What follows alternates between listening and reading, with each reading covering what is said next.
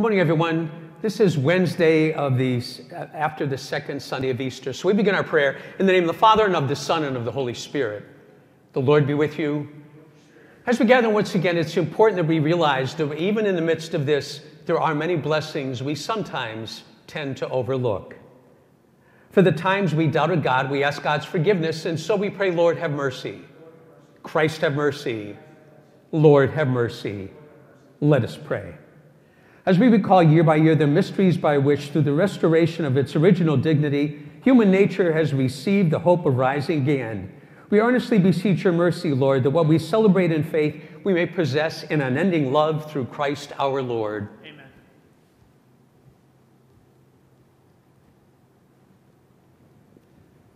A reading from the Acts of the Apostles. The high priest rose up, and all his companions, that is, the party of the Sadducees, and filled with jealousy, laid hands upon the apostles and put them in the public jail. But during the night, the angel of the Lord opened the doors of the prison, led them out, and said, Go and take your place in the temple area and tell the people everything about this life. When they heard this, they went to the temple early in the morning and taught. When the high priest and his companions arrived, they convened the Sanhedrin, the full senate of the children of Israel and sent to the jail to have them brought in. But the court officers who went did not find them in the prison, so they came back and reported. We found the jail securely locked and the guards stationed outside the doors. But when we opened them, we found no one inside.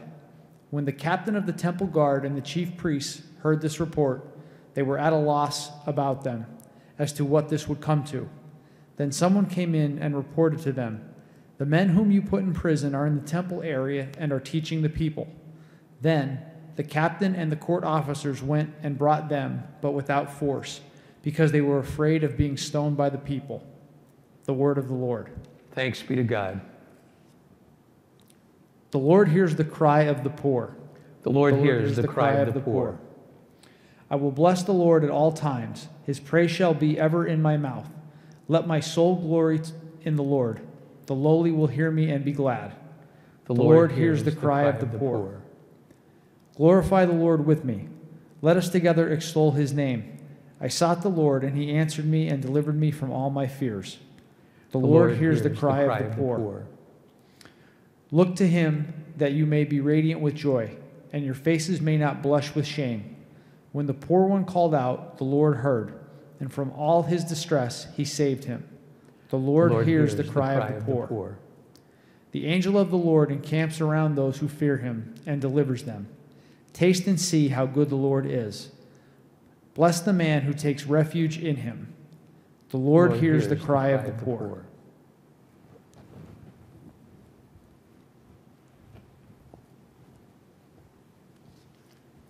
Friends, may the Lord be with you. With Let us be attentive to this reading of the Holy Gospel according to John. God so loved the world that he gave his only begotten Son, so that everyone who believes in him might not perish, but might have eternal life. For God, not send his son on, uh, God did not send his Son into the world to condemn the world, but that the world might be saved through him. Whoever believes in him will not be condemned, but whoever does not believe has already been condemned, because he has not believed in the name of the only begotten Son of God. And this is the verdict that light came into the world but people preferred darkness to light because their works were evil. For everyone who does wicked things hates the light and does not come toward the light, so this, his works might not be exposed. But whoever lives the truth comes to light, so that his works may be clearly seen as done in God. The Gospel of the Lord. Praise to you, Lord Jesus Christ. I don't know if you've ever read the Pastoral Symphony. It's an interesting story about a girl who was born blind, her name was Gertrude. And as a result of being born blind, she had her family surrounded her, and she always had this idealistic picture of the world, an idealistic picture of people. She thought everything was good and everything was fine. And so, according to this, as the story goes on, the technology develops where her sight can be restored. And once her sight is restored, two things strike her in very different ways. The first thing she sees nature. She can't believe how absolutely beautiful nature is. She couldn't imagine what color was like. She couldn't imagine what leaves were like. She couldn't imagine what insects were like or animals were like. Just couldn't believe it. It was just the most amazing thing for her to see. But when it came to people, this is where she got discouraged. She saw sadness on people's faces. She saw depression on people's faces. She saw discouragement on people's faces. And as the story went on, she even says to herself, I wish I hadn't had my sight restored because her ideal vision of people and the earth, one had changed for the better, the other had changed for the worse. I think for all of us, that can happen with God. We tend to blame God for our problems. We've heard from the thing, oh, it was God's will when something goes wrong because we don't have any reason or explanation for it. And yet there's so many wonderful things that come from God. There's forgiveness. There's love. There's people gathering together as a people of faith. We aren't really able to do that just quite yet, but there are people that do that. And had we not done that, we wouldn't be missing the things we are missing today. So I just kind of ask you to think about those important things, those blessings God has given us. And the greatest blessing we all know is life in the kingdom of heaven. God bless. Let us now offer these petitions. Let us pray for unborn children. We may continue to protect them. We pray. Let's pray for people going through a difficult time at home or for those people that have lost their jobs. We pray. Let's pray for leaders of government that they may do the best thing in all of our interests. We pray. For the sick and for those who care for them, we pray. For those who've been on the front lines, we pray. God our Father, we ask you to hear our prayer and to bless our lives through Christ our Lord. Blessed are you, Lord, God of all creation. Through your goodness, we have this bread to give you, which earth is given and human hands have made. It will become for us the bread of life.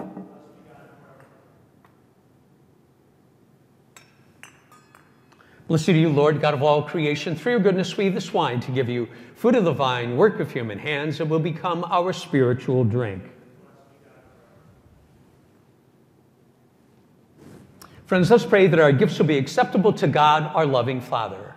May the Lord accept this sacrifice at our hands for the praise and glory of his name, for our good and the good of God's holy church. O God, who by the wonderful exchange effected in this sacrifice have made us partakers of the one supreme Godhead, grant, we pray, that as we come to know your truth, we may make it ours by a worthy way of life through Christ our Lord. The Lord be with you. Lift up your hearts. Let us give thanks to the Lord our God. Father, for the old order destroyed, a universe cast down is renewed, and the integrity of life was restored to us in Christ. Therefore, overcome with paschal joy, every land, every people exalts your praise. And so we join our loved ones in heaven as we pray this hymn of unending praise. Holy, holy, holy Lord, God of hosts, heaven and earth are full of your glory. Hosanna in the highest. Blessed is he who comes in the name of the Lord. Hosanna in the highest. You are indeed holy, O Lord, the font of all holiness. Make holy, therefore, these gifts we pray by sending down your Spirit upon them like the dewfall, so that they may become for us the body and blood of our Lord Jesus Christ. At the time he was betrayed and entered willingly into his passion, he took bread and giving thanks broke the bread, gave it to his disciples, saying, Take this, all of you, and eat of it, for this is my body, which will be given up for you. Similar way, when supper was ended, he took the chalice, once more giving thanks, gave it to his disciples, saying, Take this, all of you, and drink from it, for this is the chalice of my blood, the blood of the new and eternal covenant, which will be poured out for you and for many for the forgiveness of sin. Do this in memory of me.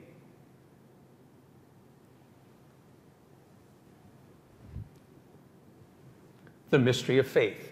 When we eat this bread and drink this cup, we proclaim your death, O Lord, until you come again. Therefore, as we celebrate the memorial of his death and resurrection, we offer you, Lord, the bread of life and the chalice of salvation, giving thanks that you've held us worthy to be in your presence and minister to you. Humbly we pray that partaking of the body and blood of Christ, we may be gathered into one by the Holy Spirit. Lord, remember your church spread throughout the world. Bring her to the fullness of charity together with Francis our Pope and Joseph our Bishop. Remember your servants, Ralph and Marie Nardell and Marianne O'Boyle, whom you have called from this world to yourself. Grant that they who are united with your Son in a death like his may also be one with him in his resurrection.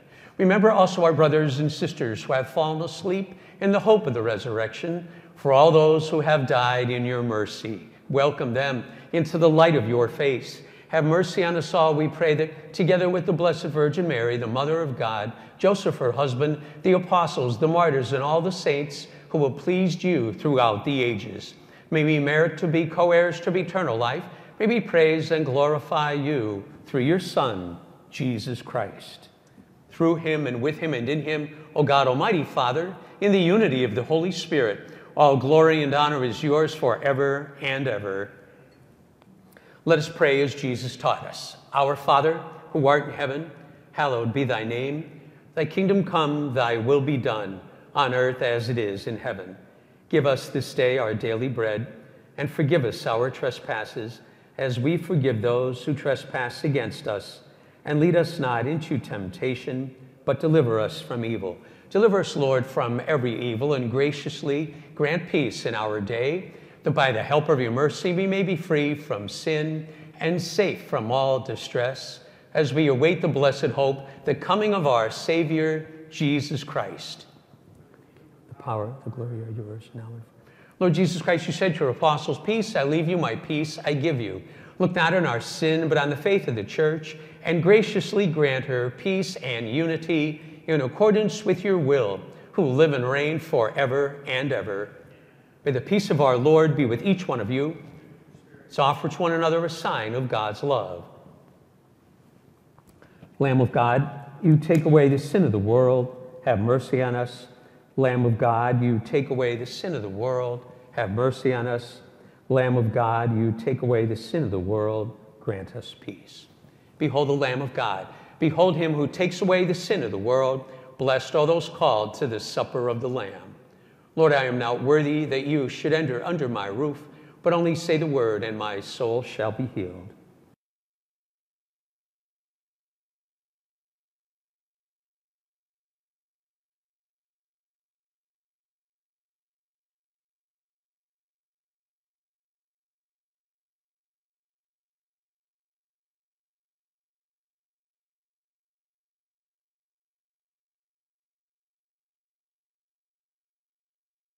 Let us pray. Graciously be present to your people, O Lord, and lead those you have endued with heavenly mysteries to pass from former ways to a newness of life through Christ our Lord.